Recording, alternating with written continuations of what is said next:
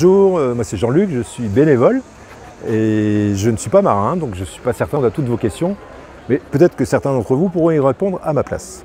Donc bienvenue sur un IMOCA. Un IMOCA, qu'est-ce que c'est? C'est un bateau de course monocoque spécialement conçu pour les courses autour du monde. Sur le vent des globes, vous ne verrez que des IMOCA. Il y a d'autres courses, d'autres types de courses, comme la Transat Jacques Vabre ou la Route du Rhum, où vous pouvez avoir différents types de bateaux, des monocoques, des multicoques, des très très gros multicoques. Vendée Globe, ce sont uniquement des IMOCA monocoques.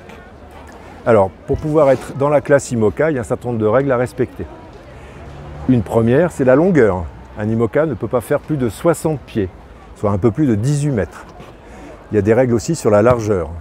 Je crois que ce n'est pas plus de 5 mètres 35. Je ne suis pas certain de la longueur, de la taille, mais c'est à peu près ça.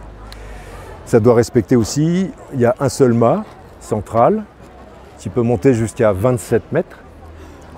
Celui-ci, je ne sais pas s'il fait 27 mètres, je ne crois pas. Il a dû être coupé pour pouvoir être transporté plus facilement.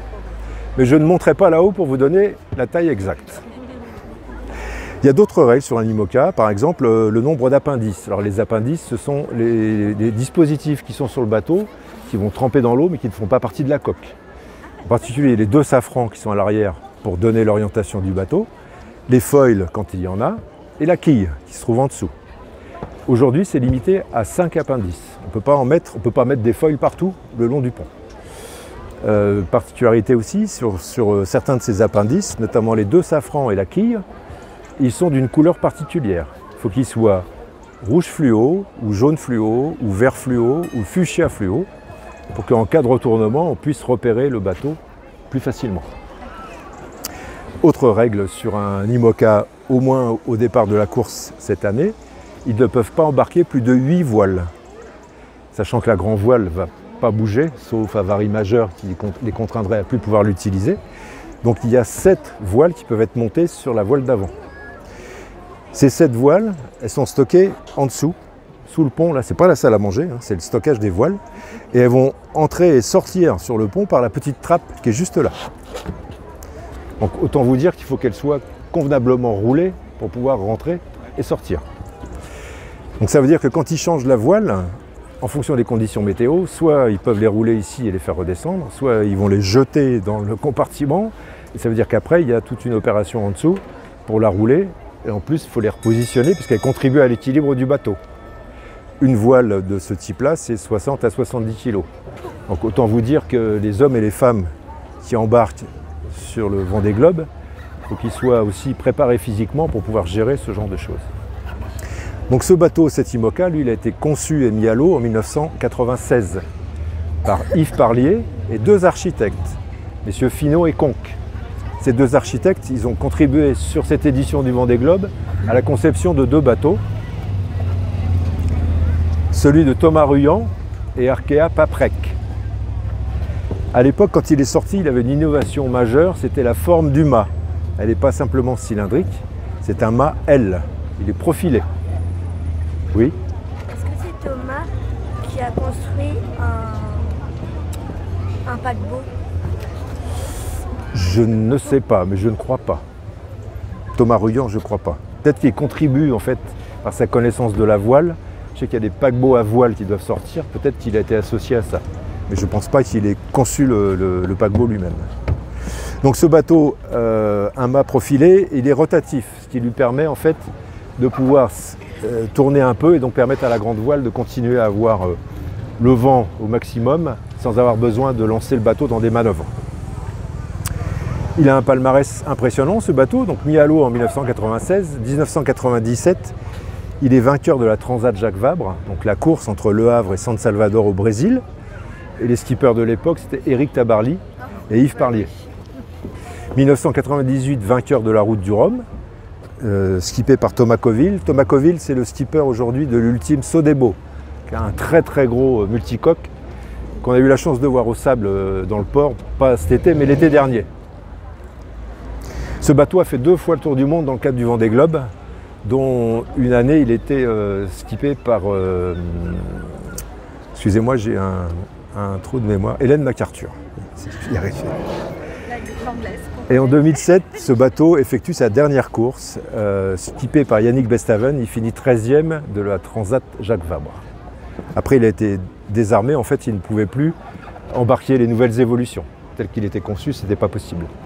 Et depuis quelque temps, donc, il est euh, utilisé comme outil de communication euh, au profit euh, d'Initiative Cœur, qui est une organisation humaine qui, en fait, vient en aide, à, qui est là pour aider au financement d'une association mécénat chirurgie cardiaque. Il y a trois sponsors, Caline, Vinci Énergie et Chocolat du Cœur. Il faut savoir que tout un chacun, on peut aider au financement de cette association qui ne vit que de dons, en allant sur les réseaux sociaux, en likant les pages ou en, s'abonnant en fait, à certaines pages. Un clic sur les réseaux sociaux, c'est un euro reversé par les sponsors au profit de l'association Mécénat Chirurgie Cardiaque. Mécénat Chirurgie Cardiaque, c'est donc une association qui, veut, se veut de venir en aide à des enfants du monde entier qui sont victimes de malformations cardiaques et qui ne peuvent pas être opérés dans leur pays pour des conditions financières, humaines, ou où ils n'ont pas les moyens techniques de le faire. Savoir que tous les dons qui sont faits vont entièrement à la partie chirurgie, à la partie euh, médecine. Euh, rien ne revient, le bateau il est financé par les sponsors. Euh, les dons que vous pouvez faire, soit à travers des réseaux sociaux, ou si vous allez sur le village, il y a un stand d'initiative cœur, euh, là, c'est pareil, vos dons reviendront entièrement au profit de cette association. Une opération de ce type-là, c'est en moyenne 12 000 euros. Pardon, 12 000 euros. Donc c'est important de pouvoir faire les dons. Euh, depuis 2009, l'association a pu réaliser 485 opérations d'enfants. L'objectif, c'est d'arriver à 500 au bout de ce Vendée Globe. Le, skipper en fait, d'Initiative Cœur, c'est Samantha Davis, c'est sa quatrième participation au Vendée Globe, la deuxième sous les couleurs d'Initiative Cœur. En 2020, elle, avait, elle était en, course, en compétition. Quand elle était victime d'une avarie, elle a rencontré un, objet flottant non identifié, un OVNI, qui l'a contrainte à rallier l'Afrique du Sud pour réparer. Du fait qu'elle a dû faire appel à l'assistance, elle n'était plus en course pour la partie euh, compétition donc elle n'était plus classée officiellement. Mais elle a choisi de finir son tour du monde pour continuer à récolter des fonds pour l'association. Euh, d'ailleurs, à cette occasion, euh, dans cette collision, en fait, elle a été blessée, Samantha, et du coup, sur cette édition, elle a bénéficié d'un bateau neuf qui a été mis à l'eau en 2022-2023, et pour lequel elle a demandé aussi des évolutions quant à sa sécurité dans le cockpit. C'est le cas de pas mal de bateaux cette année qui ont évolué aussi pour parce que c'est bien beau d'avoir des bateaux super performants et une, très belle technique, mais si les skippers n'ont pas les conditions euh, physiques euh, pour pouvoir les exploiter, en fait, ça ne sert à rien. Une autre anecdote sur euh, Yves Parlier, le concepteur de ce bateau. En 2000, il fait le Vendée Globe, pas sur ce bateau-là. Il est en tête depuis un mois et demi. Quand il est victime d'une avarie majeure, son mât se brise. Et il décide de, de le réparer tout seul. Il ne veut pas abandonner, donc il répare son mât. Il arrive à rentrer au sable, il finit 13e de la course. La fin de course est éprouvante, il n'a plus rien à manger. Donc il se débrouille en pêchant, en mangeant des algues. Enfin, c'est vraiment débrouillé pour rentrer. Et euh, cet exploit en fait, est illustré par un téléfilm qui s'appelle Seul avec Samuel Le Bihan et qui va être diffusé euh, lundi soir ou mardi soir sur France 2 en prime time. Donc si vous avez l'occasion de le voir, maintenant que vous êtes monté sur un bateau comme ça, vous aurez encore plus conscience de la valeur de l'exploit qu'il a pu réaliser. Il n'a pas bu avec aussi l'eau sur les voiles pour boire. Je crois, qu'il se servait de, l'eau. Pour récupérer l'eau, euh, c'est possible. C'est un exploit extraordinaire. Alors, Sam Davis. avec le soleil pour pouvoir remettre le mât. C'est possible, vous en savez plus que moi. Euh, vous devez savoir qui est le détenteur du record euh, du Vendée Globe, qui a mis le moins de temps. Son prénom c'est Armel. Ah, Lecléache. Il... Non. non. 74 jours en 2016. Le premier vainqueur du premier Vendée Globe, c'est Titouan Lamazou, qui lui avait mis 109 jours, 1990. 76, 74 jours 109. Si vous allez vous promener sur la petite jetée, celle qui conduit au phare vert, vous verrez tout le long, il y a des plaques euh, qui portent le nom de tous les marins qui ont terminé le Vendée Globe et du temps qu'ils ont mis pour finir, pour faire leur tour du monde. Donc ça vous permet de voir aussi, et la, plaque est positionnée proportionnellement à la durée de leur, euh, de leur, course. Donc ça permet de voir comment ça a évolué d'une édition à l'autre et comment un, même skipper même a évolué en fonction des bateaux qu'il a eus et de sa connaissance, comment ça a pu évoluer d'une course à l'autre. Euh, voilà le dernier vainqueur du Vendée Globe, vous connaissez Yannick, Yannick Bestaven.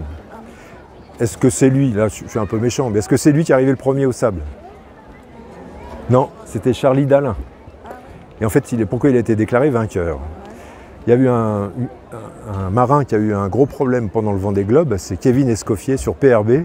Son bateau s'était retourné dans l'océan Indien. Et du coup, Jean Lecam et Yannick Bestaven se sont déroutés pour aller lui porter secours. C'est Jean Lecam qui l'avait récupéré à 2h du matin dans des creux impossibles, qui l'avait donc euh, sauvé. Et du coup, ils ont bénéficié l'un et l'autre euh, d'un bonus de temps du fait qu'ils s'étaient déroutés pour aller lui porter secours. Donc il est arrivé, il est rentré quatrième au sable, et en fait, avec le temps qui lui a été crédité, il a été déclaré vainqueur.